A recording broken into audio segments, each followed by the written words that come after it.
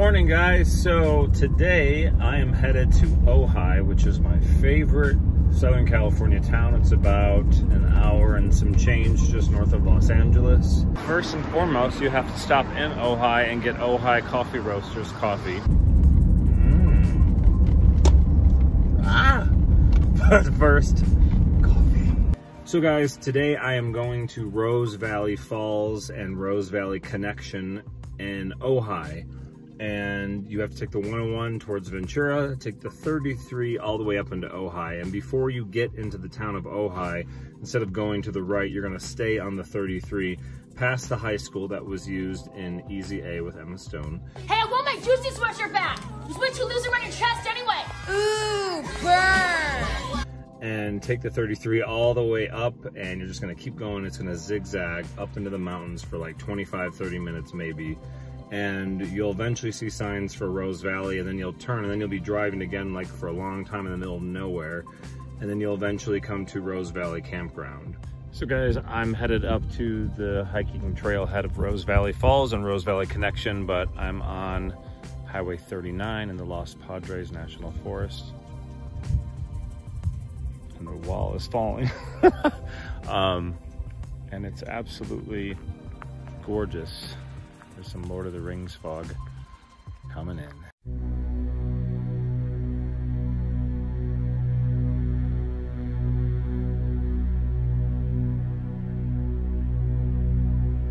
Oh, oh,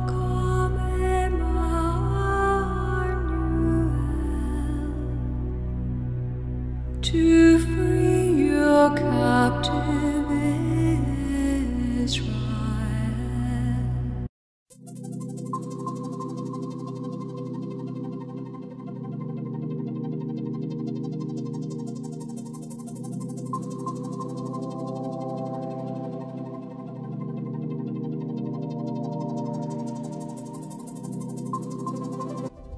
So guys, I tried the Rose Lion uh, connection trail and there's a sign right to the left of the sign behind me that tells you the trail is that way, but it takes you to a little lake.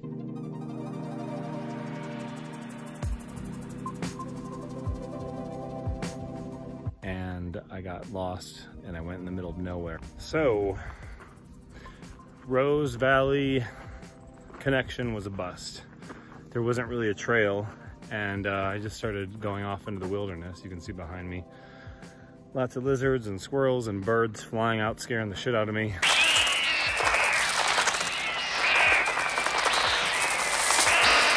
To get to Rose Valley Falls, you're gonna follow this sign straight through the campground right to the waterfall. So guys, from the corner of the campground, the trailhead starts right here through the woods. You'll be able to find it. You just gotta walk right past the restroom restroom, just go past it and right into the woods. So guys, a lot of this trail has burned down, which is so unfortunate. I think two years ago, there was a huge fire here in Ventura and Ojai, and this trail used to be completely hidden in the woods, and now you can see it's very exposed. It's very easy. Right behind me, it slightly goes uphill, but that's pretty much it. It's a very short hike.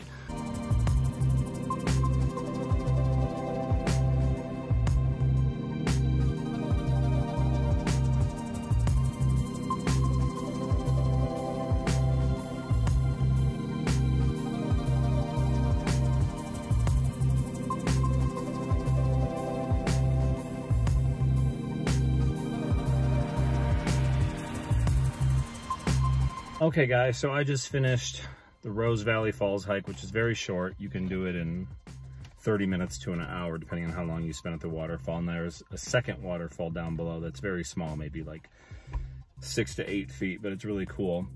Uh, when you park here, you will need your adventure pass if you're in the campground, or you can park right outside the sign of the campground and walk through. It's like a five minute walk. Uh, on a scale of one to 10, I would rate this hike a 10. It's my favorite one. Um, and I'm just looking at some full-blown hippies coming out of a van, which is cool. Uh, on a scale of 1 to 10 being difficult, it's a 1. It's so easy. There's a slight uphill moment. Uh, on a scale of 1 to 10 with eye candy, I'm looking at two beautiful hippies, so I'll give it a three. Lots of cute dogs. I had a little pit bull come and lick up on me, which was sweet. On a scale of one to 10 crowd level, I would rate this a six. The campground was full of people. Uh, on the hike, I passed maybe six people going to the waterfall, and there were two people at the waterfall when I got there. Uh, when I scaled the uh, water to the second waterfall, I saw like 10 to 12 more people heading to the waterfall.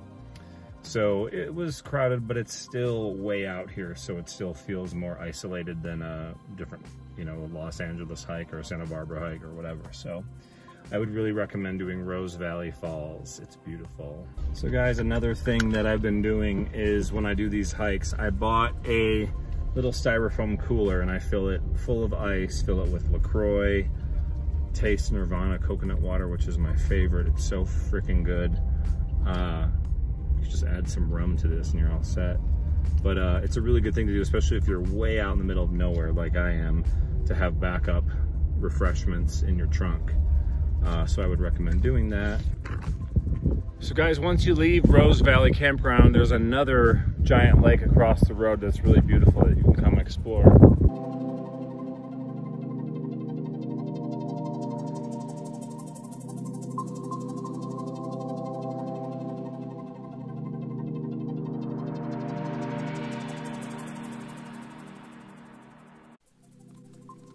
Guys, you will come across this beautiful creek you have to walk across to get to the rocks. But luckily there is a stone path. So guys, once you cross the river, you're gonna come to this fork in the road and you're gonna wanna go to the left, which is the Pedra Blanca hike. I think I said that right.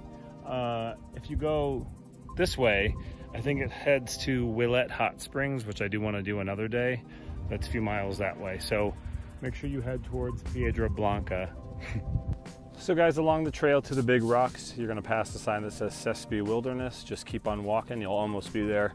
Pay attention to where you're stepping though, because I've been tripping over a lot of rocks.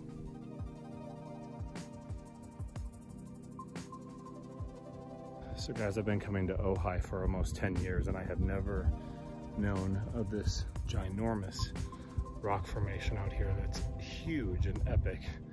Just like bigger than when you go to Joshua Tree. It's like you're on Mars. So cool.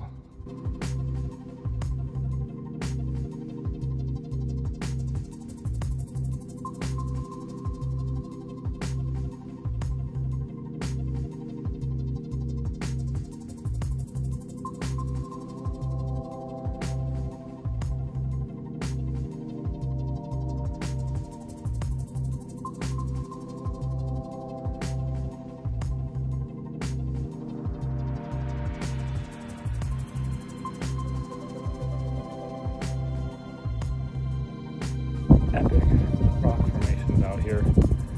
I did read a book about a guy that was abducted by aliens out in Ojai, so wouldn't doubt it.